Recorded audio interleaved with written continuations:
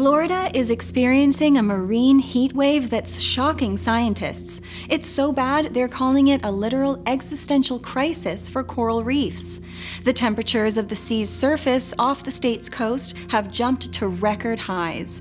In fact, some areas are approaching hot tub temps, nearing 100 degrees. And while that might sound appealing for swimmers, it's potentially deadly news for the sea life, particularly coral.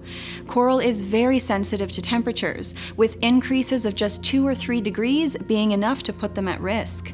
The Florida Keys are already seeing signs of coral bleaching, with the reefs turning white as they expel the algae they need to feed on. So, if the high water temperature sticks around, reefs could literally starve to death.